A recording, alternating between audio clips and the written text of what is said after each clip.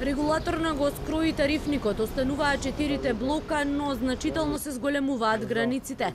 Граѓаните кои ќе трошат до 210 киловат часови месечно, само во скапа тарифа ќе влегуваат во првиот блок, Оние потрошувачи кои ќе трошат до 630 киловати ќе влегуваат во вториот, а границата на третиот блок е до 1050 киловат часови.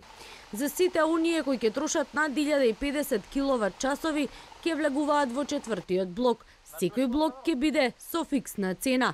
Иако новата цена на струјата ќе се знае в среда, она што за сега е познато е дека оние кои ќе трошат над 1050 киловат часови ќе треба да плаќаат и до 4 пати повисока цена или цена близу пазарната. Оние што имаат потрошувачка до третиот блок, сега прв, втор, трет, ќе имаат од би имале од 1 јануар до 1, до 30 јуни сметки пониски за минус 15 до минус 12%. Зависи од сегашните цени. Ако цената се зголеми за 60% од 1 јули, просечната цена, продажна и така натаму, тие нема да имаат зголемување од 60%, ќе имаат од 45 до кај 50%. И покрај новиот тарифник броилата остануваат исти. Регулаторот побара, а од Евана уверуваат. Имаат капацитет на времено да ги читаат. Дополнително РК е апелира на времено да се одговара и на барањата на граѓаните во однос на броилата. Колку повеќе доцни со читањето, толку се зголемува и количината на првиот блок.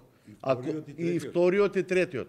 Ако прочита за 100 дена, првиот блок ќе биде не 210 киловат часови, ќе биде 700 киловат часови.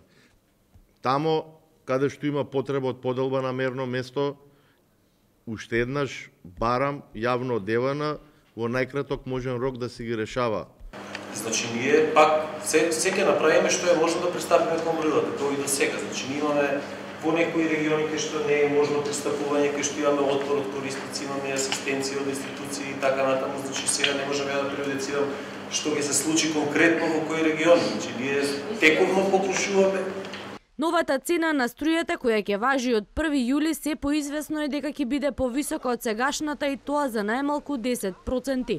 Она што за сега е познато е дека сите енергетски компании побараа зголемување на цените за своите услуги кои ги вршат, а за 17% повисока цена понуди ЕСМ на тендерот на Евана Хоум во петокот.